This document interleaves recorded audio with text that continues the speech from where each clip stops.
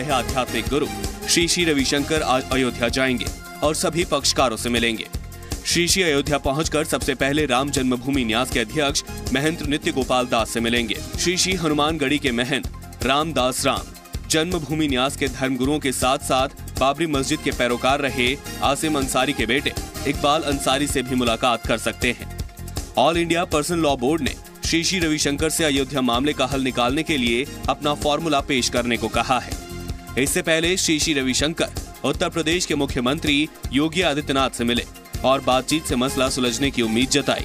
आपको आपके दिमाग में फार्मूला होगा जो पूरा हिंदू मुस्लिम यूनिटी चाहता हूँ। मैं सौहार्द चाहता हूँ। राम मंदिर मामले का हल तलाशने के लिए श्री श्री रविशंकर शिया वक्फ बोर्ड के नेताओं से पहले ही मुलाकात कर चुके हैं। नेशनल कॉन्फ्रेंस अध्यक्ष फारूक अब्दुल्ला ने फिर पाकिस्तान के समर्थन वाला बयान दिया है। फारूक अब्दुल्ला ने एलओसी के पास उरी में कहा कि आखिर हम कब तक ये कहेंगे कि पीओके हमारा हिस्सा है। कब तक ये तूफ़ान चलता रहेगा? कब तक बेगुनाहों का खून बहता रहेगा? और हम ये कहते रहे वो हमारा हिस्सा है वो इनके बाप का हिस्सा नहीं है ये हूँ। जम्मू कश्मीर के पूर्व मुख्यमंत्री फारूक अब्दुल्ला पर बीजेपी ने पलटवार किया। कहा उनकी ये सोच भारत के लोकतंत्र के खिलाफ है। ये सरासर गलत है। हमारे पार्लियामेंट का 1994 का यूनानिमस रेजोल्यूशन है और हम पूरे कश्मीर को, जो पाकिस्तान के कंट्रोल में, उस कश्मीर सहित पूरे कश्मीर को भारत का हिस्सा मानते हैं। इससे पहले 11 नवंबर को भी फारूक ने देश विरोधी बयान दिया था। कहा था कि पीओके भारत में कभी नहीं मिल सकता और कश्मीर मुद्दा सुलझाने के लिए पाकिस्तान से भी बातचीत ज़रूरी है।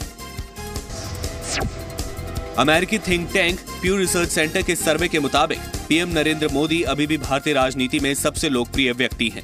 इस साल 21 फरवरी से 10 मार्च के बीच किए गए सर्वे के मुताबिक 88 प्रतिशत के आंकड़े के साथ मोदी सबसे लोकप्रिय राजनीतिक शख्सियत हैं। कांग्रेस उपाध्यक्ष राहुल गांधी को अठावन प्रतिशत लोगों ने दूसरी लोकप्रिय शख्सियत माना है कांग्रेस अध्यक्ष सोनिया गांधी तीसरे और दिल्ली के मुख्यमंत्री अरविंद केजरीवाल इस सर्वे में चौथे स्थान पर हैं। प्यू रिसर्च के मुताबिक दक्षिणी भारतीय राज्यों, आंध्र प्रदेश, कर्नाटक, तमिलनाडु, तेलंगाना और पश्चिमी राज्यों, महाराष्ट्र, गुजरात, छत्तीसगढ़ में हर 10 में से नौ भारतीय नागरिक प्रधानमंत्री नरेंद्र मोदी के पक्ष में हैं। इसी तरह पूर्वी राज्यों, बिहार, झारखंड, ओडिशा, पश्चिम बंगाल और उत्तरी राज्यों, दिल्ली, हरियाणा, मध्य प्रदेश, पंजाब, राजस्थान और उत्तर प्रदेश में प्रत्येक 10 में से आठ नागरिक मोदी को पसंद करते हैं दिल्ली में बढ़ते प्रदूषण से निपटने के लिए पेट्रोलियम मंत्रालय ने बड़ा कदम उठाया है। मंत्रालय ने तेल कंपनियों से 1 अप्रैल 2018 से दिल्ली में बी एस सिक्स ग्रेड का फ्यूल बेचने को कहा है। पहले ये नियम 2020 से लागू होना था। कार कंपनियों को भी अप्रैल से बी एस सिक्स ग्रेड वाली कारें बेचने को कहा गया है। इसके साथ ही तेल कंपनियों को एनसीआर के दूसरे शहरों में भी 2019 तक B S six grade fuel देने के विकल्पों पर विचार करने को कहा गया है। पेट्रोलियम मंत्रालय ने 1 अप्रैल 2017 से ही पूरे देश में बी एस फोर ग्रेड के पेट्रोल और डीजल की बिक्री शुरू की थी।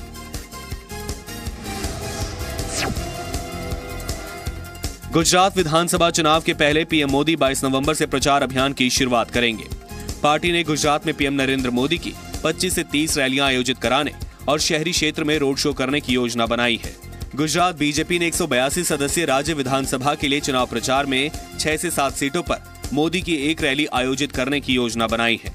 गुजरात चुनाव में प्रथम चरण के चुनाव के लिए नामांकन पत्र भरने की अंतिम तिथि 21 नवंबर और दूसरे चरण के चुनाव के संदर्भ में नामांकन पत्र दाखिल करने की अंतिम तिथि 27 नवंबर है। ऐसे में नवंबर के चौथे सप्ताह से पीएम मोदी की रैलियों की योजना बनाई जा रही है। जम्मू कश्मीर के अनंतनाग में अपने बेटे के आतंकी बनने की खबर सुनकर पिता को दिल का दौरा पड़ गया। 20 साल का माजिद अपने कॉलेज की फुटबॉल टीम का खिलाड़ी था। कुछ दिन पहले वो लश्कर तैयबा में शामिल हुआ है। आतंकी के रूप में सोशल मीडिया पर बेटे की वायरल तस्वीर देखकर पिता को हार्ट अटैक पड़ गया। अस्पताल में उनका इलाज चल रहा है। आतंकी माजिद के पिता का कहना है कि बेटे का ब्रेन वॉश किया गया है। सेना और पुलिस माजिद की तलाश में अनंतनाग में अभियान चला रही है। जी, बहुत अनफॉर्चुनेट है बट हमारी अभी भी कोशिश है कि वो वापस आ जाए, लेकिन वायलेंस का रास्ते में कुछ निकलना नहीं अल्टीमेटली जो भी निकलता है, वो अमन के रास्ते से निकलता है। तो मेरी मेरी अभी भी उसके पेरेंट्स से अपील है कि उसको वापस लाए। जम्मू कश्मीर के सोनमर्ग में सर्दियों की पहली बर्फबारी हुई। वहीं गांदरबल में बर्फबारी के साथ साथ बारिश भी हुई। बर्फ़ गिरने की वजह से इलाके का तापमान माइनस तीन डिग्री हो गया है। सोनमर्ग में करीब तीन इंच बर्फबारी रिकॉर्ड की गई। मौसम विभाग का कहना है कि 2016-17 में काफ़ी दिनों बाद कम बारिश हुई है। इससे पहले 2007 में सर्दियों में बहुत कम बारिश हुई थी। जम्मू कश्मीर के अलावा उत्तर भारत के कुछ पहाड़ी इलाकों में भी तापमान में गिरावट दर्ज की गई। जम्मू कश्मीर के अलगाबादी शब्बीर शाह के खिलाफ दिल्ली की अदालत ने आरोप तय कर दिए हैं। मनी लॉन्ड्रिंग के मामले में कोर्ट ने शब्बीर शाह के सहयोगी असलम वानी पर भी चार्ज फ्रेम किया है। ईडी ने साल 2011 में पुलिस की ओर से दर्ज एक मामले को टेक ओवर कर लिया है। ईडी ने आतंकियों को फंड देने के मामले में शब्बीर शाह के खिलाफ मामला दर्ज किया था। जाँच के दौरान पता चला कि शब्बीर पाकिस्तान से आए पैसे आतंकियों को देता था। वो लश्कर के सरगना, हाफिज सईद के भी संपर्क में था और दोनों के बीच बातचीत के सबूत भी मिले हैं। ईडी ने इस मामले में बासठ लाख रुपए जब्त किए थे। शब्बीर की पार्टी का आईपी एड्रेस पाकिस्तान में मिला है।